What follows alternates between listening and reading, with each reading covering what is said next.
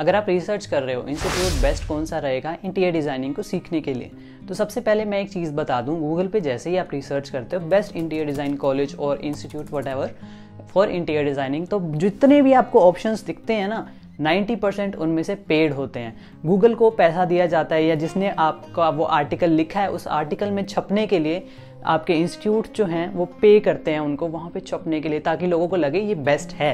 तो वो बेस्ट है या नहीं, ये एक बहुत बड़ा क्वेश्चन मार्क है कि क्या उन्होंने पैसे दे के ये एड छपवाई है या सच में वो बेस्ट है, इसलिए वो वहाँ आ रहा है। कोई नहीं जानता है। तो आप कैसे ढूंढोगे इंस्टीट्यूट आपके लिए बेस्ट कौन सा है सीखने के लिए इंटीरियर डिज़ाइनिंग उसको लेके मैं आपको कुछ टिप्स देने वाला हूँ। पहली बात, ऐसा कोई भी कॉलेज इंस्टीट्यूट है ही नहीं इंटीरियर डिज़ाइनिंग में।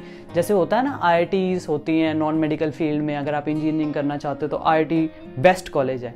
वैसे ही अगर आप मेडिकल फ़ील्ड में हो तो एम्स जो है वो बेस्ट कॉलेज है। ऐसा कोई भी कॉलेज है ही नहीं इंटीरियर डिज़ाइनिंग में, जहाँ पे जाओगे और आपकी लाइफ एकदम सेट हो जाएगी। आपको खुद को मेहनत करनी पड़ेगी।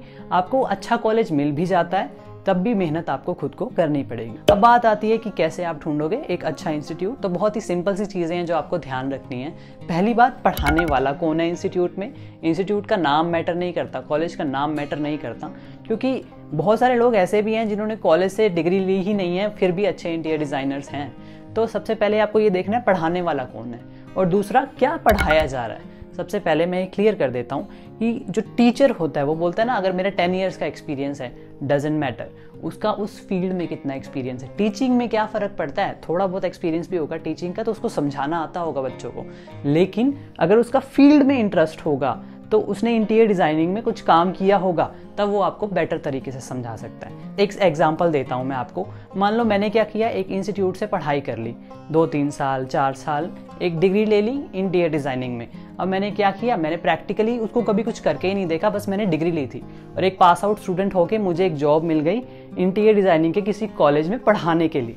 तो सोचो, एक फाइनल ईयर के स्टूडेंट थोड़ा टाइम बाद अगर पढ़ाने लग जाता तो क्या पढ़ा लेगा मैक्सिमम वही ना जो उसको पढ़ाया गया है, उसका खुद का तो प्रैक्टिकल एक्सपीरियंस कुछ है ही नहीं। तो सबसे पहले आपको ये ध्यान रखना है कि आपको जो टीचर पढ़ाने वाला है उस इंस्टीट्यूट कॉलेज में, वो कौन है?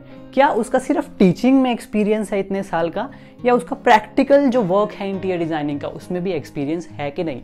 अगर वो एक्सपीरियंस टीचर मिल जाता है ना, खुद इंटीरियर डिज़ाइनिंग का जिसका एक्सपीरियंस है, करा हुआ है उसने डिज़ाइन तो वो आपके लिए बेस्ट रहेगा।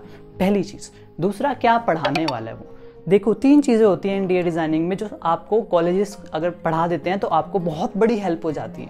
पहली है थ्योरी दूसरा है प्रैक्टिकल नॉलेज और तीसरा है क्रैड की नॉलेज एक एक करके एक्सप्लेन करता हूँ। थ्योरी होती है, आपको ये बताया जाता है कि जो एक स्पेस है, मान लो, मैं तो रेजिडेंशियल इंटीरियर डिज़ाइनर हूँ तो मैं उस प्रोस्पेक्टिव से आपको बताता हूँ।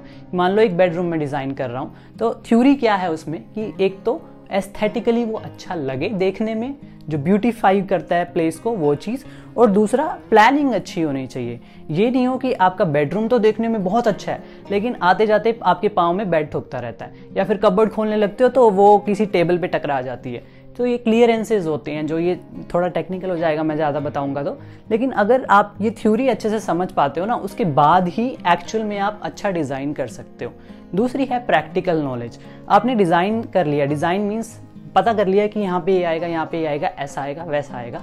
लेकिन प्रैक्टिकल क्या है उसमें कि उसमें मटेरियल्स कौन से यूज़ होंगे? मान लो आपने बाथरूम डिज़ाइन किया और वहाँ पे आपने वुडन फ्लोरिंग दे दी। देखने में बहुत अच्छी लग रही है, लेकिन आपको ये तो पता होना चाहिए कि आप वुडन फ्लोरिंग जो है वो बाथरूम में दे ही नहीं सकते क्योंकि वहाँ पे पानी का काम होता है और वुड जो है बड़ी जल्दी खराब हो जाएगी पानी से। और ऐसी छोटी छोटी बहुत सारी प्रैक्टिकल चीज़ें होती हैं जो ध्यान देनी पड़ती हैं।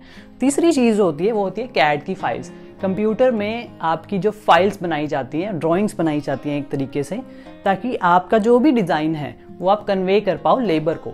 अब लेबर के सर पे तो खड़े नहीं रहोगे आप 24 घंटे की, इसको ऐसे बनाओ, इसको वैसे बनाओ।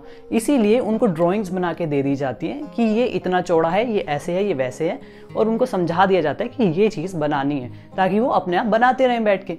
तो यहाँ पे आपका टाइम सेव होता है। तो ये तीनों चीज़ें आपको पता चल जाएँ, अगर इंस्टीट्यूट के वाया तो वो इंस्टीट्यूट बेस्ट है। अब आपको पता कैसे चलेगा कि कोई भी इंस्टीट्यूट ये तीनों चीज़ें प्रोवाइड करता है कि नहीं?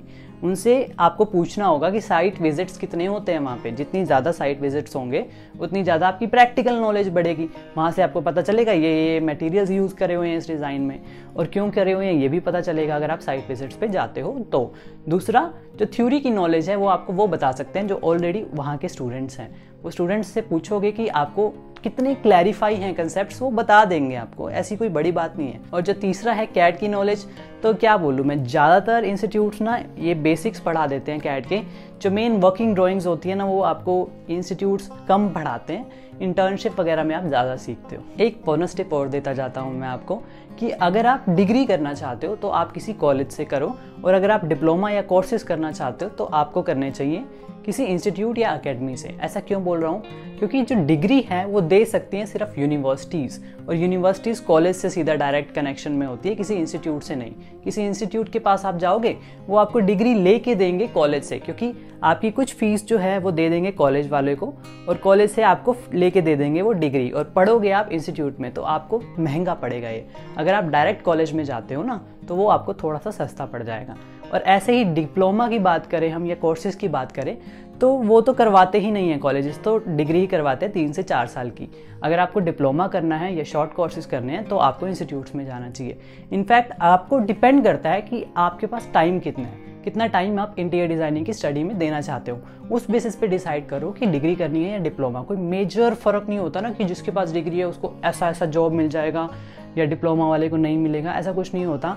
जनरली नहीं होता है। बाकी कुछ केसेस में होता है कि कोई टॉप कंपनी है, वो मांग रही है कि डिग्री होल्डर ही चाहिए, वो अलग बात है। बहुत थोड़ी कंपनीज़ हैं ऐसी। लेकिन मेजोरिटी ऑफ़ द केसेस में आपको जॉब मिल जाती है। अगर आपके पास डिग्री है, तब भी डिप्लोमा है, तब भी। अगर दोनों भी नहीं है ना, उसके बावजूद आपकी नॉलेज जो है बहुत अच्छी है। तब भी आपको मिल जाती है। तीनों चीज़ों की प्रैक्टिकल नॉलेज थ्योरी की नॉलेज और कैट की नॉलेज तीनों अच्छी हैं तो आपको आसानी से जॉब मिल जाती है। So this was it how can you choose a best college so see you guys in next video till then bye bye